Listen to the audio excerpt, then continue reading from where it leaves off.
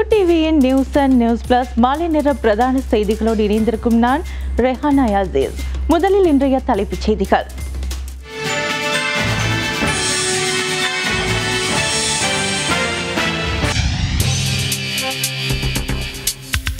இலங்கையின் எழுபத்தி ஓராவது சுதந்திர தினம் நாளை பிரதம அதிதியாக மாலைத்தீவு ஜனாதிபதி இலங்கை வருகை.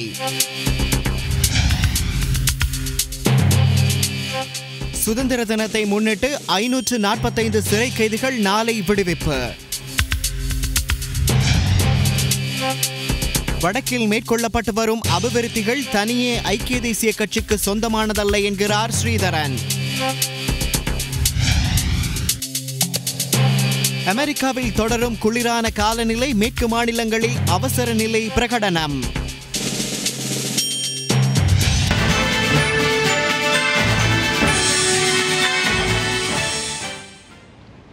இவை இன்றைய தலைப்புச் செய்திகள். விரிவான செய்திகளில் முதலில் உள்நாட்டு செய்திகள். எழுபத்து ஓராவது சுதந்திர தின நிகழ்வில் பிரதம அதிதியாக கலந்து கொள்ள உள்ள மாலைதீவு ஜனாதிபதி இன்று இலங்கைக்கு வருகை தந்தார். நாளை நடைபெறவுள்ள இலங்கையின் எழுபத்தி ஓராவது சுதந்திர தின நிகழ்வில் பிரதம அதிதியாக மாலித்தீவின் ஜனாதிபதி இப்ராஹிம் முகமது சோலி கலந்து கொள்ள உள்ளார். இந்நிலையில் அவர் இன்று முற்பகல் இலங்கையை வந்தடைந்துள்ளார். நாட்டிற்கு வருகை தந்துள்ள மாலித்தீவு ஜனாதிபதி இப்ராஹிம் முகமது சோலியை பிரதமர் ரணில் விக்ரமசிங்க விமான நிலையத்தில் வைத்து வரவேற்றுள்ளமை குறிப்பிடத்தக்கது. ஜனாதிபதி மைத்ரிபால சிறிசேன தலைமையில் பிரதமர் ரணில் விக்ரமசிங்கவின் பங்கு பெற்றுதலுடன் இடம்பெறவுள்ள இவ் சுதந்திர தின வைபவத்தில் பிரதம விருந்தினராக மாலைத்தீவின் புதிய ஜனாதிபதி கலந்து கொள்ளவுள்ளார். காலிமுகத்திடலில் நடைபெறவுள்ள சுதந்திர தின தேசிய வைபவத்தில் எண்ணூற்றி அறுபத்தி ஐந்து இசைக்கலைஞர்கள் மற்றும் நடனக் கலைஞர்களின் பங்கு பற்றலுடன் விசேட கலாசார நிகழ்வொன்றும் ஏற்பாடு செய்யப்பட்டுள்ளது. மேலும் முப்படையினர் மற்றும் போலீசாரின் விசேட அணிவகுப்பும் இடம்பெறவுள்ளது. குறித்த அணிவகுப்பானது மூவாயிரத்தி அறுநூற்றி இருபது ராணுவத்தினர் ஆயிரத்தி இருநூற்றி நாற்பத்தி ஒன்பது கடற்படையினர் எண்ணூற்றி முப்பது விமானப்படையினர் எண்ணூறு போலீஸ் உத்தியோகத்தர்கள் ஐநூற்றி ஐந்து சிவில் பாதுகாப்பு உத்தியோகத்தர்கள் மற்றும் நூறு தேசிய கடெட் பிரிவைச் சேர்ந்தவர்களின் பங்கு பெற்றலுடன் இடம்பெறவுள்ளதுடன் இருபத்தி ஐந்து துப்பாக்கி வேட்டுகளும் தகர்க்கப்பட உள்ளன இதேவேளை பிரித்தானிய காலனித்துவத்தின் கீழிருந்து எமது நாடு சுதந்திரமடைந்து எழுபத்தி ஒரு வருடங்கள் பூர்த்தி அடைந்துள்ள நிலையில் அரசு நிறுவனங்கள் வீடுகள் தனியார் அலுவலகங்கள் வர்த்தக நிலையங்கள் அனைத்திலும் முதலாம் திகதி முதல் ஏழாம் திகதி வரை தேசிய கொடியை பறக்கவிடுமாறு அரசாங்க தகவல் திணைக்களம் கேட்டுக்கொண்டுள்ளமை குறிப்பிடத்தக்கது. சுதந்திர தினத்தை முன்னிட்டு ஐநூற்று நாற்பத்து ஐந்து சிறை கைதிகள் ஜனாதிபதியின் பொது மன்னிப்பில் நாளை விடுவிக்கப்பட உள்ளனர். அதற்கமைய நாட்பூராகவும் உள்ள சிறைச்சாலைகளிலிருந்து ஐநூற்று நாற்பத்தைந்து கைதிகள் நாளைய தினம் விடுதலை செய்யப்பட உள்ளனர் எனவும் எனினும் நாளைய தினம் ஐநூற்று பதினெட்டு கைதிகளே விடுதலை செய்யப்படுவார்கள் என்றும் ஏனைய இருபத்தேழு கைதிகளுக்கும் ஜனாதிபதி பொது மன்னிப்பு வழங்கினாலும் அவர்கள் செய்துள்ள ஏனைய குற்றங்களுக்காக தொடர்ந்தும் சிறைச்சாலையில் தடுத்து வைக்கப்படுவார்கள் எனவும் அவர்கள் நாளைய தினம் விடுதலை செய்யப்பட மாட்டார்கள் எனவும் தெரிவிக்கப்பட்டது. கம்பெர்லியா அபிவிருத்தி வேலை திட்டம் எதிர்கால வெற்றிக்காக முன்னெடுக்கப்படும் திட்டங்களில் ஒன்று என பிரதமர் ரணில் விக்ரமசிங்க தெரிவிக்கின்றார். இரண்டாயிரத்தி பத்தொன்பதாம் ஆண்டுக்கான என்டர்பிரைசஸ் ஸ்ரீலங்கா வேலை திட்டம் மற்றும் கம்பெரலிய வேலை திட்டத்தை அறிமுகம் செய்யும் வைபவம் அலரி மாளிகையில் நேற்று இடம்பெற்றது இந்நிகழ்வில் உரையாற்றிய பிரதமர் வெளிநாட்டுக்கான கடனை உரிய முறையில் செலுத்தியமையினால் தற்போது கடன் தொடர்பான ஸ்திர நிலை நாட்டில் ஏற்பட்டிருப்பதாக தெரிவித்தார் අපිට එදා GSP ප්ලස් තියද අපිට GSP ප්ලස් තිය. තම්පෙල්ලි විතරක් නෙමෙයි. මේ ඡන්ද අපි දිනනවා. ඒක බය බය වෙන්න එපා. ඒක නවත්තන්න බෑ. ඊළඟ සැරේ අපේ පෙරමුණ අලුත් සන්ධානයක් හැටියට බහුතරයක් ලබාගෙන மேலும் இங்கு உரையாற்றிய நிதி மற்றும் ஊடகத்துறை அமைச்சர் மங்கள சமரவீர இவ்வாறு தெரிவித்தார் கம்பெரலிய வேலை திட்டத்தை எந்தவித வேறுபாடுகளுமின்றி அனைத்து பிரஜைகளுக்கும் நன்மைகள் பெற்றுக் கொடுக்கப்படும் என்று தெரிவித்தார் நிவாரண வட்டியின் கீழ் கம்பெரலிய அபிவிருத்தி நடவடிக்கையின் மூலம் இலங்கையில் தொழில் முயற்சியாளர்களுக்கு பெரும் உந்து சக்தியாக அமைந்திருப்பதாகவும் தெரிவித்தார் ஒரு வருட காலப்பகுதிக்குள் ஒரு லட்சம் தொழில் முயற்சியாளர்களை இத்திட்டத்தினூடாக உருவாக்குவதே இதன் நோக்கம் எனவும் தெரிவித்தார் බොහෝ වෙලාවට කටයුතු කරන්නේ ණය දෙන්න නෙමෙයි නොදෙන්න. ආපු වෙලේම ඉඳලා ප්‍රස්ථ අහනවා දෙන්න බැරි විවිධ කොන්දේසි කියනවා නමුත් අපේ මෙම වැඩසටහනේ මූලික අරමුණ තමයි. හොඳ අදහසක් තියෙන නමුත් පල්ලි නැති එහෙම නැත්තං ඒවට ගැරන්ටර්ස නැති සාමාන්‍ය வடக்கு மற்றும் கிழக்கில் மேற்கொள்ளப்படும் அபிவிருத்தி நடவடிக்கைகளை தனியே ஐக்கிய தேசிய கட்சி மேற்கொள்ளவில்லை எனவும் தமிழ் தேசிய கூட்டமைப்பின் கோரிக்கைக்கு அமையவே இவை இடம்பெறுவதாகவும் பாராளுமன்ற உறுப்பினர் ஸ்ரீதரன் தெரிவித்துள்ளார்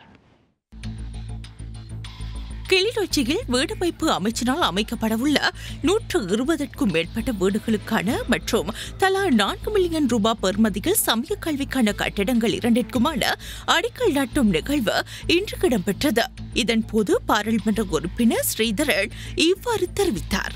கௌரவ சஜித் பிரேமதாசா அமைச்சருடைய நிதி ஒதுக்கீட்டிலே இந்த வெள்ளப்பெருக்குக்கு பிற்பாடான செயற்பாடுகளில் தலா ஒரு வீட்டுக்கு ஏழரை லட்சம் ரூபாய் பெறுமதியான நூற்றி இருபதுக்கும் மேற்பட்ட வீடுகளுக்கான செயல்பாடுகளில் ஆறு இடங்களில் இன்று அத்திவாரங்கள் இடப்பட்டது. அதே போல நாற்பது லட்சம் ரூபாய் தலா நாற்பது லட்சம் ரூபாய் பெறுமதியான இரண்டு அறநறை பாடசாலைகள் ஒன்று ஆரம்பிக்கப்படுகின்றது. இவ்வாறான செயற்பாடுகளுக்காக முதலில் நாங்கள் கௌரவ சஜித் பிரேமதாச அமைச்சர் அவர்களுக்கு நாங்கள் எங்களுடைய மாவட்ட மக்கள் சார்பாக நன்றிகளை தெரிவித்துக் கொள்கின்றோம். அரசாங்கத்தின் இந்த அபிவிருத்தி நடவடிக்கைகள் என்பது தனியாக ஐக்கிய தேசிய கட்சி அரசாங்கத்தினுடைய அபிவிருத்தி நடவடிக்கை அல்ல. இந்த அரசாங்கத்துக்கு ஜனநாயக முறைப்படி இதனை கொண்டு வந்தவர்கள் நாங்கள். அந்த ஒப்பந்தத்தின் அடிப்படையில் எங்களோடு அவர்கள் செய்து கொண்ட பேசிக்கொண்ட விடயங்களின் அடிப்படையில் எங்களுக்காக ஒதுக்கப்படுகின்ற அபிவிருத்திக்கான நிதி திட்டங்கள்லாம் இவை. வடக்கிலும் கிழக்கிலும் அதற்கான துரித செயலணி அமைத்து அந்த அடிப்படையில் இந்த வேலை திட்டங்களை தமிழ் தேசிய கூட்டமைப்பு தான் முன்னெடுத்து வருகின்றது. ஐக்கிய தேசிய கட்சியோடு சேர்ந்து நின்று இந்த அபிவிருத்தி நடவடிக்கைகளை நாங்கள் முன்னெடுக்கவில்லை. எங்களுடைய மக்கள் தங்களுடைய உரிமைகளோடு சொந்த மண்ணிலே வாழுகின்ற உரித்தை உருவாக்குவதற்கு யார் தடையாக நின்றாலும் அவர்களுக்கு எதிரான எங்களுடைய செயல்பாடுகள் இருக்கு. நாங்கள் ஐக்கிய தேசிய கட்சி அரசாங்கத்தை ஆதரித்தோ அல்லது நம்பியோ மக்களின் அடிப்படை உரிமைகள் அபிலாசைகள் போன்ற சகலவற்றையும் கைவிட்டு தமது சுயநலன்களுக்காக கூட்டமைப்பு செயற்படுவதாக முன்னாள் வடமாகாண முதலமைச்சர் சி வி விக்னேஸ்வரன் குற்றம் சுமத்தியுள்ளார். யாழ்ப்பாணத்தில் இன்றைய தினம் இடம்பெற்ற இபிஆர்எல்எஃப் கட்சியின் மாநாட்டில் கலந்து கொண்டு உரையாற்றுகையில் அவர் இவ்வாறு தெரிவித்தார். எதிர்க்கட்சி தலைவர் பதவியை தக்க வைப்பதற்கும் இலங்கையின் நீதித்துறைக்குள்ளும் பாராளுமன்றத்துக்குள்ளே முரண்பட்டு உழைத்த அளவுக்கு தமிழ் அரசியல் கைதிகளை விடுதலை செய்வதற்காகவோ அல்லது காணாமல் போன மக்களின் உறவினர்களின் பிரச்சனைகளை தீர்ப்பதற்காகவோ அல்லது வடகிழக்கில் இருந்து ராணுவத்தை வெளியேற்றுவதற்காகவோ அல்லது சுவீகரிக்கப்பட்ட காணிகளை விடுவி விடுவிப்பதற்காகவோ நடவடிக்கைகளை எடுப்பது முக்கியம் என்று தமிழ் தேசிய கூட்டமைப்புக்கு தோன்றவில்லை என்பது மனவர்த்தத்தை தருகின்றது. எமது கட்சிகள் எம் மக்களின் நீண்டகால நலனுக்காக தொடங்கப்பட்டவை. எம்மை பொறுத்தவரையில் இலங்கையின் இரண்டு பிரதான கட்சிகளுமே எமக்கு எதிரான அடக்குமுறைகளை கட்டவிழ்த்து விடுவதில் ஏட்டா போட்டியாக செயல்பட்டு வந்து வருகின்றன. இந்த ரெண்டு கட்சிகளுடனும் ஆதரவாக செயல்பட்டு தமிழ் மக்களின் பிரச்சனைகளுக்கு தீர்வு ஒன்றை பெற்றுவிடலாம் என்ற எமது தலைவர்கள் கடந்த காலங்களில் ஏமாந்து போன வரலாறுகளில் இருந்து எதனையும் நாம் கற்றுக்கொள்ளவில்லை போல் தெரிகின்றது. அடிப்படை சம்பளமாக எழுநூறு ரூபாய் வேண்டாமெனவும் ஆயிரம் ரூபாவே அடிப்படை சம்பளமாக கொடுக்கப்பட வேண்டுமெனவும் வலியுறுத்தி தோட்ட தொழிலாளர்கள் இன்றும் வேலைநிறுத்த போராட்டங்களில் ஈடுபட்டனர். அந்த வகையில் இன்று கொட்டக்கலை டிரேடன் தோட்ட தொழிலாளர்கள் கொட்டக்கலை பிரதேச சபைக்கு முன்பாக அடிப்படை சம்பளமாக ஆயிரம் ரூபாவினை வழங்க கோரி ஆர்ப்பாட்டத்தில் ஈடுபட்டனர். கூட்டு ஒப்பந்தம் வேண்டாம் கூட்டு ஒப்பந்தத்தினை ரத்து செய் போன்ற பதாதைகளை ஏந்தி கோஷங்களை எழுப்பியதோடு தாம் மாதாந்தம் தொழிற்சங்கங்களுக்கு வழங்கும் சந்தா பணத்தை தற்காலிகமாக நிறுத்திவிடுவோம் என்ற கோஷங்கள் மூலம் தமது ஆதங்கத்தை வெளிப்படுத்தினர். அத்தோடு கூட்டு ஒப்பந்தத்தில் கைச்சாத்திடும் ஆறுமுகம் தொண்டமான் மற்றும் வடிவேல் சுரேஷ் தொழிலாளர்களை ஏமாற்றிவிட்டதாகவும் அடுத்து வரும் தேர்தல் காலங்களில் வாக்குகளை கேட்டு வரக்கூடாதென்றும் இதன்போது ஆர்ப்பாட்டத்தில் ஈடுபட்டவர்கள் எச்சரிக்கை விடுத்தனர். தொடர்ச்சியாக தோட்ட தொழிலாளர்கள் முன்னெடுக்கும் ஆர்ப்பாட்டத்திற்கு ஆதரவு வழங்கும் வகையில் கொழும்பு நகரம் மற்றும் யாழ் மக்களும் ஆர்ப்பாட்டங்களை நடத்தி தங்களின் ஆதரவினையும் வழங்கி வருகின்றமை குறிப்பிடத்தக்கது. சம்பள ஒரு பேச்சுவார்த்தை. சரியான முறையிலேயே இந்த பேச்சுவார்த்தை நடத்தாமல் ஆறுமுகம் தொண்டமான அவர்கள் வடிவேல் சுரேசு இவங்க போன்ற இருவரும் எங்களை காலகாலமாக ஏமாத்தியது மட்டுமில்லாமல் இந்த சம்பள உயர்வு பேச்சிலே அவர் நேற்று பேசுகிறார் நான் கொல்ட்டியான தலைவர் இல்லை மற்றவங்க அப்படின்னு. எங்களுடைய தலைவர் திகாம்பரம் அவர்கள் இந்த வர்த்தமானியை நிறுத்தி வைத்திருக்கின்றார் என்றால் அது எங்களுடைய தலைவரை மிக ஆகாது என்று நாங்கள் சொல்ல விரும்புகிறோம். அது மட்டுமல்ல அவர் வாங்கின ஓட்டுக்கு மக்களுக்கு நிறைய சேவை செஞ்சிருக்காரு. இந்த ஐநூறு ரூபாய் சம்பளத்தை இருபது வருஷமா பார்லிமெண்ட்ல இருந்த அமைச்சரா இருந்த தொண்டமா வாங்கி கொடுத்துவிட்டு இன்னைக்கு இருநூறு ரூபாய் எங்க மக்கள் எல்லாரும் சேர்ந்து போராடி அவருக்கு நிறைய ஆதரவு கொடுத்தும் தெரியாம போயிட்டு அலர் மாளிகையில் ஒப்ப வச்சிருக்காரு. இது ஒரு வெக்கம் கூடிய விஷயம். செய்திகள் தொடர்கின்றன. அதிகாரத்தை பகிர்ந்து கொடுப்பதன் மூலம் நாட்டில் சிறுபான்மையினர் ஜனநாயக ரீதியிலான உரிமைகளை பெற முடியும். இதனாலேயே புதிய அரசியல் வரைவு குறித்து வலியுறுத்தி வருவதாக பாராளுமன்ற உறுப்பினர் எம் ஏ சுமந்திரன் தெரிவிக்கின்றார். தமிழ் தேசிய கூட்டமைப்பு ஏற்பாட்டில் வாகரையில் நேற்று இடம்பெற்ற பொங்கல் விழாவில் பிரதம அதிதியாக கலந்து கொண்டு உரையாற்றும் போதே அவர் இவ்வாறு தெரிவித்தார். ஆனபடியினால் தான் ஆட்சி முறையை மாற்றுங்கள் என்று சொல்லுகிறோம். அதிகாரத்தை பகிர்ந்து கொடுங்கள் என்று சொல்லுகிறோம். அதிகாரத்தை ஒரு இடத்திலே வைத்திருக்க வேண்டாம் என்று சொல்லுகிறோம். பகிர்ந்து கொடுக்கிற போது முழு நாட்டிலேயும் எண்ணிக்கையிலே சிறுபான்மையினராக இருந்தாலும் கூட வெவ்வேறு இடங்களிலே நாங்கள் பெரும்பான்மை பலத்தை வைத்து நாங்களே தீர்மானங்கள் எடுக்கக்கூடியதாக இருக்கும். அப்படியான ஒரு ஆட்சி முறைக்கு மாற்றுமாறுதான் நாங்கள் கேட்டுக்கொண்டிருக்கிறோம். அதை நோக்கி நாங்கள் பல தூரம் வந்தும் இருக்கிறோம். ஒரு அரசியல் யாப்பு சம்பந்தமான ஒரு வரைவு வரைவை உள்ளடக்கின ஒரு அறிக்கை தற்போது வெளிவந்திருக்கிறது. அது வெளிவந்த கையோடு பேரினவாதிகள் தெற்கிலே இது நாட்டை பிளவுபடுத்த போகிறது நாட்டை பிரிக்க போகிறது என்று கூக்குரல் இடுகிறார்கள். எம்மவர்கள் மத்தியிலே இருக்கிற சிலர் இதிலே எதுவும் ஹிங்குராகுட பகுதியில் உள்ள ஹோட்டல் ஒன்றில் ஃபேஸ்புக் ஊடாக ஏற்பாடு செய்யப்பட்ட களியாட்ட நிகழ்வொன்றில் கலந்து கொண்ட எண்பத்து ஒன்பது பேர் போதைப் பொருட்களை வைத்திருந்த குற்றச்சாட்டில் கைது செய்யப்பட்டுள்ளனர்.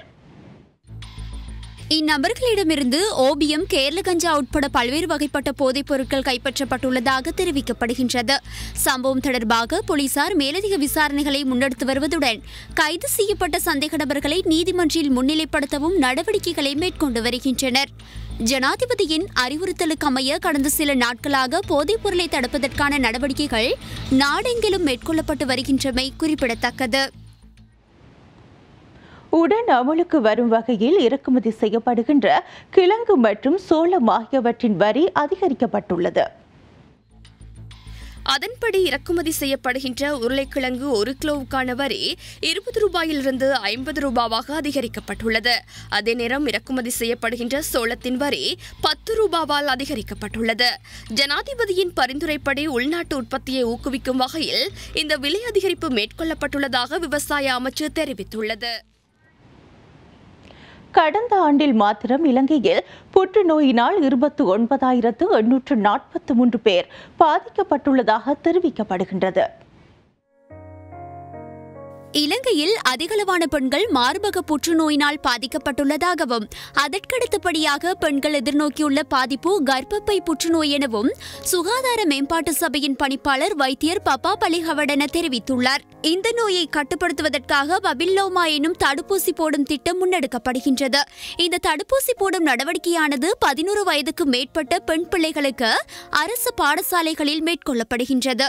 ஆபத்தான சூழ்நிலையிலிருந்து பெண் பிள்ளைகளை பாதுகாப்பதற்கு பெற்றோர் முன்வர வேண்டும் எனவும் அவர் வேண்டுகோள் விடுத்துள்ளார். கர்ப்பப்பை வாய் புற்றுநோயிலிருந்து பெண்களை பாதுகாக்கும் நோக்கில் எச்பிவி எனும் தடுப்பூசி போடும் திட்டம் கடந்த இரண்டாயிரத்து பதினேழாம் ஆண்டு அறிமுகப்படுத்தப்பட்டது. இந்நிலையில் இரண்டாயிரத்து பதினெட்டாம் ஆண்டில் மாத்திரம் இலங்கையில் புற்றுநோயினால் இருபத்தொன்பதாயிரத்து எண்ணூற்று நாற்பத்து மூன்று பேர் பாதிக்கப்பட்டுள்ளதாக குறிப்பிடப்பட்டுள்ளது. இலங்கையின் எழுபத்து ஓராவது சுதந்திர தினத்தை முன்னிட்டு சிலோன் தவ்ஹித் ஜமாஹத் நேற்று இரவு மாபெரும் பொதுக்கூட்டம் ஒன்றை அமைப்பின் பொதுச் செயலாளர் அப்துல் ராசிக் தலைமையில் ஏற்பாடு செய்திருந்தது.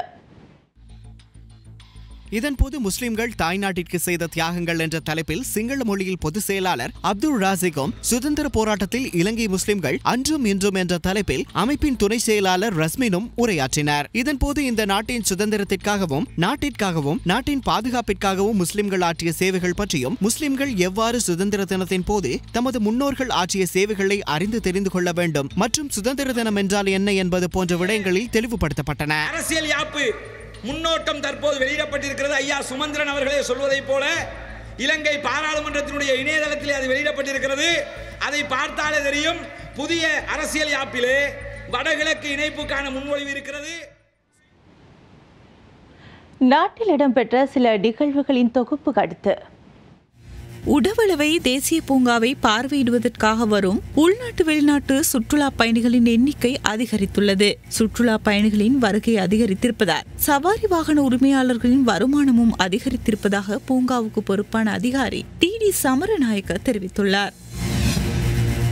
இந்த ஆண்டின் இறுதியில் தானியக்கு ரயில் டிக்கெட் முறை நடைமுறைப்படுத்த வேண்டும் என ரயில்வே திணைக்களத்தின் பொது முகாமையாளர் M D J D Fernando தெரிவித்துள்ளார். இந்த ஆண்டின் இறுதியில் அதற்கான திட்டத்தை அமுல்படுத்த தாம் திட்டமிட்டுள்ளதாகவும் தற்போது இந்த திட்டத்திற்கு நான்கு முன்மொழிகளை பெற்றுள்ளதாகவும் குறிப்பிட்ட அவர் அவற்றை மதிப்பீடு செய்து ஆசிய அபிவிருத்தி வங்கிக்கு சமர்ப்பிக்க வேண்டும் என்றும் பின்னர் அவர்கள் அதை சரிபார்த்து ஒப்புக்கொள்வார்கள் என்றும் தெரிவித்துள்ளார். பாகிஸ்தானில் இடம்பெறவுள்ள நாற்பத்தி நான்கு நாடுகள் பங்கேற்கும் கூட்டுப் பயிற்சியில் இலங்கை கடற்படையும் பங்கேற்க உள்ளது. பாகிஸ்தான் கராச்சியில் அமான் இரண்டாயிரத்தி பத்தொன்பது என்ற பெயரிலான இந்த கூட்டுப்பயிற்சி எதிர்வரும் எட்டாம் திகதி முதல் பதிமூன்றாம் திகதி வரை இடம்பெற உள்ளது. இந்நிலையில் நூற்று எழுபது பேர் அடங்கிய இலங்கை கடற்படை கப்பல் நேற்றைய தினம் கொழும்பு துறைமுகத்திலிருந்து பாகிஸ்தானுக்கு பயணமாகியுள்ளது. எதிர்வரும் ஆறாம் திகதி கராச்சி துறைமுகத்தை சென்றடையும் என எதிர்பார்க்கப்படுகின்றது. சவுதி அரேபியாவின் நிதி உதவியில் ஒரு கோடி ரூபாய் செலவில் காத்தான்குடியில் நிர்மாணிக்கப்பட்ட மஸ்ஜித் சுன்னா பள்ளிவாயல் நேற்று மாலை திறந்து வைக்கப்பட்டது. மஸ்ஜித் சுன்னா அமைப்பின் தலைவர் எம் ரில்வான் மதனி தலைமையில் இடம்பெற்ற இந்நிகழ்வில் சவுதி அரேபியா ஃபரா இப்னு ஆசிப் மஸ்ஜித் பிரதம இமாம் முகமது இப்னு அப்துல்லா அல் மாலினி பிரதம அதிதியாக கலந்து கொண்டு பள்ளிவாயலை திறந்து வைத்தார்.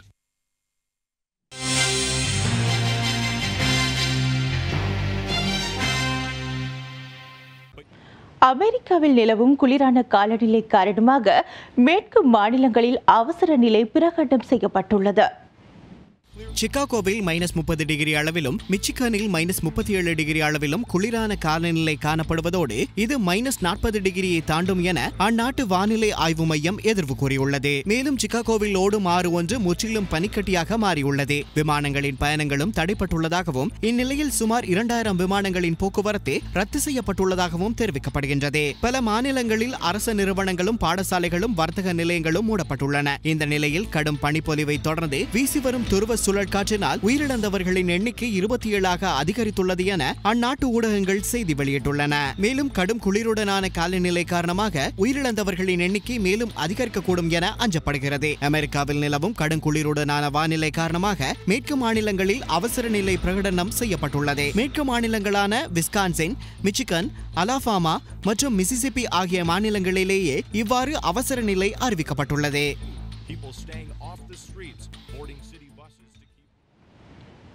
பாகிஸ்தான் முன்னாள் பிரதமர் நவாப் ஷரீப் உடல்நலக் குறைவால் சிறையிலிருந்து மருத்துவமனைக்கு மாற்றப்பட்டுள்ளார். ஹல்லஜீதா இரும்பாலை முறைகேடு வழக்கில் பாகிஸ்தான் முன்னாள் பிரதமர் நவாஸ் ஷெரீப்புக்கு ஏழு ஆண்டுகள் சிறை தண்டனை விதிக்கப்பட்டது. அதனைத் தொடர்ந்து அவர் லாகூரில் உள்ள கோட்லக்பத் சிறையில் அடைக்கப்பட்டார். இந்நிலையில் அங்கு அவருக்கு திடீரென உடல்நலக்குறைவு ஏற்பட்டது. வைத்தியர்கள் குழு அவரை பரிசோதனை நடத்தியது. அப்போது அவருக்கு இருதய நோய் நீரிழிவு மற்றும் உயர் ரத்த அழுத்தம் இருப்பது தெரிய வந்துள்ளது அதனைத் தொடர்ந்து சிறையில் வைத்து அவருக்கு சிகிச்சை அளிக்கப்பட்டது. ஆனால் குணமாகாமல் தொடர்ந்து அவர் அவதிப்பட்டு வருகின்றார். எனவே அவரை வைத்தியசாலையில் அனுமதித்து சிகிச்சை அளிக்க வைத்தியர் குழு பரிந்துரை செய்தது.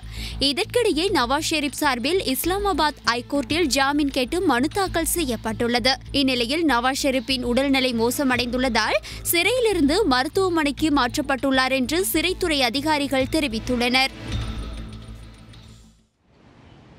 செய்திகளின் நிறைவில் இன்றைய வானிலை.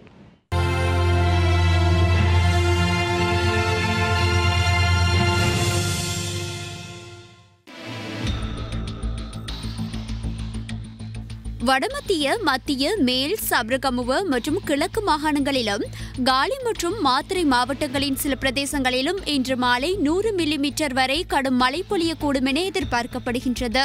இதனிடையே வடக்கு மற்றும் கிழக்கு மாகாணங்களில் பொழியும் மழை அதிகரிக்கக்கூடும்.